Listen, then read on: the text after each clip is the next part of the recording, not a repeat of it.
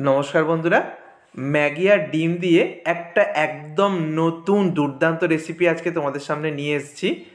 যে রেসিপিটা মাত্র পাঁচ থেকে ছয় মিনিটে বানানো হয়ে যাবে। আর একবার যদি এই রেসিপিটা বানিয়ে খাও, তাহলে প্রত্যেক দিন সন্ধ্যাবেলা কিন্তু এই রেসিপিটা বানিয়ে খেতে ইচ্ছা করবে। আর রেসিপিটা ছোটো থেকে বড় সবাই পছন্দ করবে। তো ম্যাগি হোক ইপ্পি হোক, এরকম নুডলস কিন্তু আমাদের সবার বাড়িতেই থাকে। আর সেই নুডলস দিয়েই কিন্তু বানিয়ে নেব। তো নুডলসটা সিদ্ধ হতে দিয়ে দিয়েছি। আর এই নুডলস সিদ্ধ হতে কিন্তু বেশি সময় লাগে না, মাত্র দু মিনিট সময় লাগে।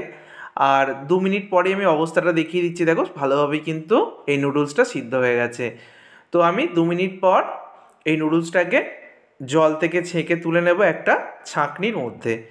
আর নুডলসটাকে সিদ্ধ হয়ে যাওয়ার পর ছাঁকনির মধ্যে নিয়ে কিন্তু অবশ্যই ঠান্ডা জল দিয়ে মানে নর্মাল জল দিয়ে খুব ভালো করে ধুয়ে নিতে হবে।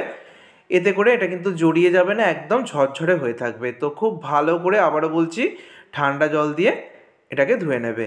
তো এটাকে ধুয়ে নেবার পর মিনিট খানেক মতো রেখে দিতে পারো জলটা ঝরে যাওয়ার জন্য। আর ততক্ষণে আমি এখানে তিনটে ডিমে সাদা অংশ আর কুসুমটাকে আলাদা করে নিয়েছি। এখানে সাদা অংশটা রয়েছে। এই ডিমে সাদা অংশের মধ্যে আমি সিদ্ধ করে রাখা যে নুডলস সেটা দিয়ে দিলাম। এবার একটু পেঁয়াজ কুচি অ্যাড করছি। তো পেঁয়াজ কুচিটা এখানে অবশ্যই তোমাদের পছন্দ মতো দেবে। আমি একটা মিডিয়াম সাইজের পেঁয়াজ কুচি দিয়েছি, খুব সামান্য টমেটো কুচি দিলাম। তারপর অল্প ধনে পাতা কুচি, ঝাল বুঝে কাঁচা লঙ্কার কুচি আর একটু রসুন কুচি এখানে দিয়ে দিচ্ছি। এখানে পছন্দ মতো সবজিও অ্যাড করতে পারবে। যেমন গাজর কুচি বা ক্যাপসিকাম কুচিও কিন্তু এখানে তোমরা দিতে পারো।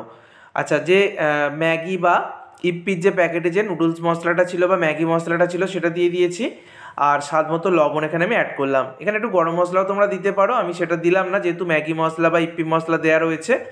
তো খুব ভালো করে ডিমের সঙ্গে এই যে নুডলসটাকে আমি সমস্ত কিছুর সাথে মিশিয়ে রেখে দিলাম, ডিমের সাদা অংশের সঙ্গে।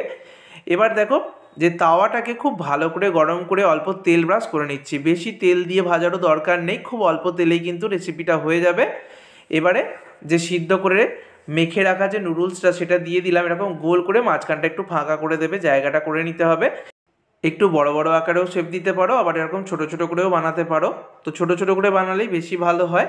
তো আমি একটা বড় করলাম আর দুটো ছোট ছোট আকারে শেপ দিয়ে মাঝখানটার জায়গা করে নিলাম। এবার মাঝখানের অংশগুলোতে দিয়ে দিচ্ছি ডিমের যে হলুদ অংশটা মানে কুসুমের অংশটা।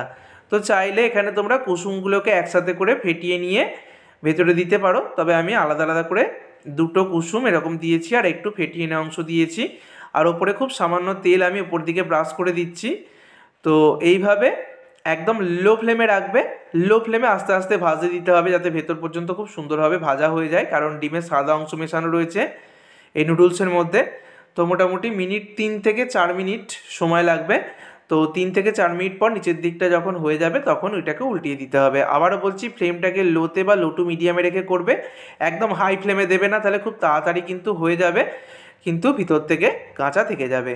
তো অপর পিঠটা উল্টিয়ে আরও মিনিট পাঁচেক মতো আমি রেখে দিয়েছিলাম, আর তাতে করেই কিন্তু দেখো একদম পারফেক্টলি এটা হয়ে গেছে। একদম ভিতর পর্যন্ত এটা কিন্তু কুক হয়ে যাবে। কত সুন্দর হয়েছে, দেখো দেখতে। এগুলো দেখতে যেমন সুন্দর হয়, খেতে একদম দুর্দান্ত হয়, যেহেতু এর মধ্যে পেঁয়াজ, রসুন, ধনে পাতা, কাঁচা লঙ্কা বা টমেটো দেওয়া রয়েছে। তো এটা খেতে কিন্তু অপূর্ব হয়, আর ম্যাগির সাথে রয়েছে ডিম। ডিম আর ম্যাগির অনেক রেসিপি তোমরা ট্রাই করেছ, তবে সকলের কাছে একটাই রিকোয়েস্ট রইল যে, এই রেসিপিটা একবার হলেও ট্রাই করো। ছোট বাচ্চারা যেমন পছন্দ করবে, বড়রাও কিন্তু একদম আনন্দ করে চেটে পুটে খাবে। ছোট বাচ্চাদের স্কুলের টিফিনেও তোমরা করে দিতে পারো। আবার বাড়িতে ব্রেকফাস্টে হোক বা টিফিনে বা সন্ধ্যাবেলা দুর্দান্ত লাগবে। আমি একটা ভেঙে দেখিয়ে দিচ্ছি, দেখো কত সুন্দর হয়েছে। তো এইভাবে একটু টমেটো সস লাগিয়ে যদি খাওয়া যায়, তাহলে এর স্বাদ কিন্তু আরোই বেড়ে যায়। ভিডিওটা ভালো লাগলে বন্ধুদের মধ্যে অনেক অনেক শেয়ার করো। সকলে সুস্থ থেকো। সকলকে ধন্যবাদ।